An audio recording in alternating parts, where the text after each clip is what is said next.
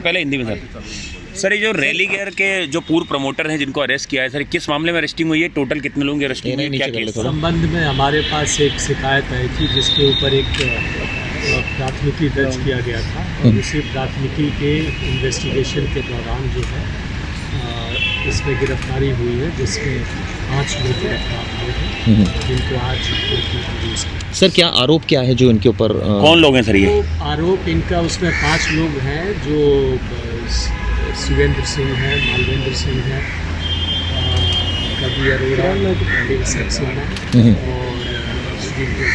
हम्म, तो इस उनके ऊपर आरोप जो है वो कंपनी जो थी उसके फंड को साइकिल ऑफ़ करने से रिलेटेड है। हम्म। और उसी संबंध में जाँच के बाद जो है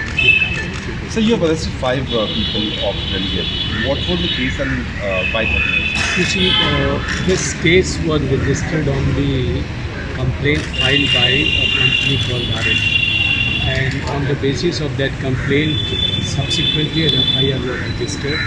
And during course of investigation, when the evidences came to us, these arrests were made yesterday. And all these accused persons, they are